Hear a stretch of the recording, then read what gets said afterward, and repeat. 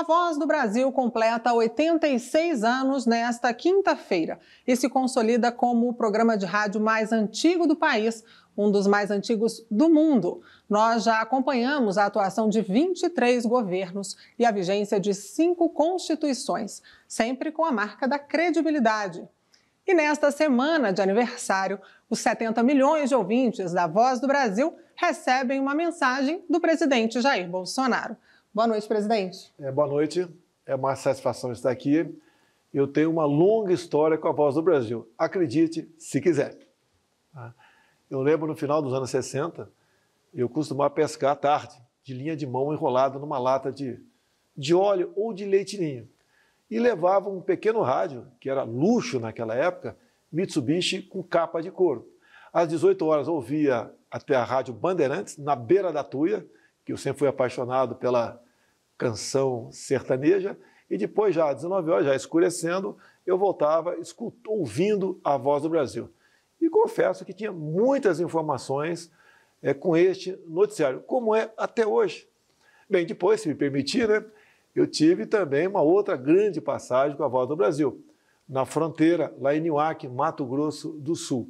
Lá não pegava televisão também energia elétrica era 8 horas por dia. Então, a, as notícias de verdade você tinha através da Voz do Brasil. E a gente era informado por esta imprensa maravilhosa que é a Voz do Brasil.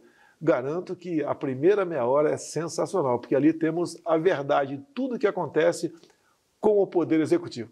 Depois, a última experiência minha, ou a penúltima, enquanto parlamentar. Fiquei 28 anos dentro da Câmara. E ali os parlamentares discursam, em média ali 60, 70 por dia, e depois aproximadamente 30 apenas entram na Voz do Brasil. Então, uma briga para você entrar na Voz do Brasil, porque era, naquela época, de 91 para cá, né, quando eu assumi lá a Câmara dos Deputados, uma maneira de você se fazer presente junto a dezenas de milhões de habitantes do Brasil. E ocupar a Voz do Brasil você dava o seu recado para esse montante de pessoas. Então era uma briga enorme. Eu sempre usava o pequeno expediente para discursar na Câmara para conseguir, em média, 20 segundos à noite. Isso aí, eu ouvia a Rádio Voz do Brasil, muitas vezes eu gravava, tá? E, dado as reuniões que eu fazia, eu mostrava como eu trabalhava em Brasília através de uma voz maravilhosa, como a tua, do que nós fazíamos dentro da Câmara. E agora, como presidente da República, presidente, queria saber se o senhor não quer fazer um rápido balanço das ações do governo até aqui. Estou à sua disposição. Nós assumimos em 2019, o Brasil com muitos problemas, mas consegui montar um ministério técnico que começou a trabalhar muito bem. Terminamos 2019 com o índice da economia realmente bastante animadores. Lamentavelmente, tivemos a pandemia em 2020, que persiste até hoje. E a pandemia fez com que a gente botasse muitos planos, muitas propostas de governos é, para depois. Né?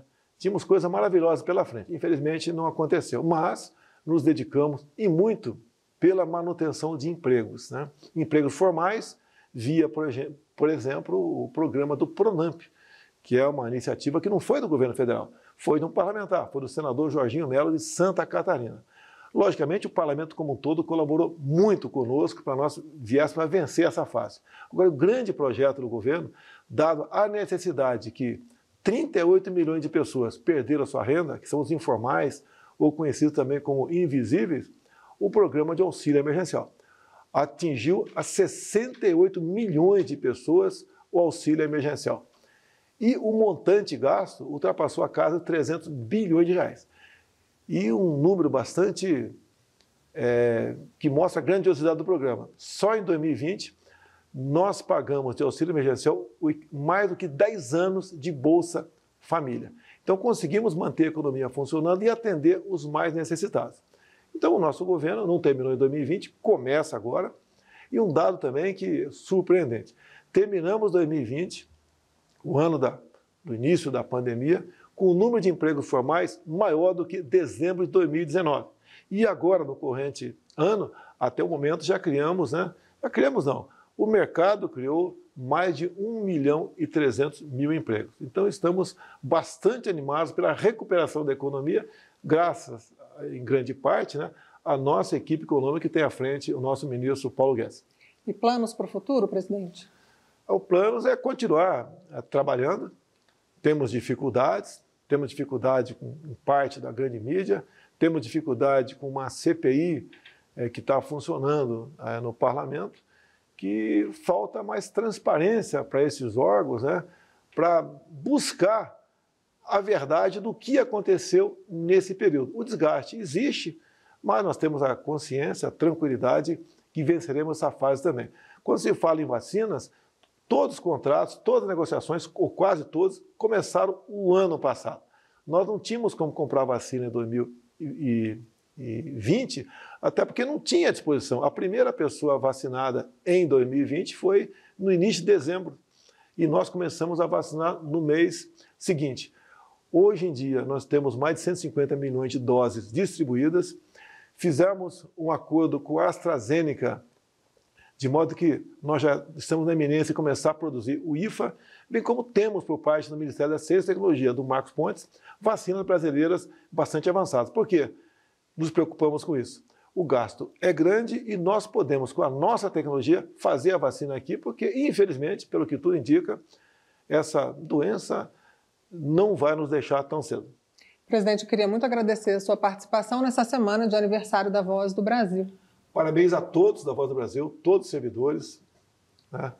a sua pessoa que está do meu lado, bem como no chefe da SECOM, nosso coronel André, e pedir a Deus que continue iluminando vocês para levar a informação de verdade a toda a população brasileira. Muito obrigado à Voz do Brasil, muito obrigado a todos os servidores.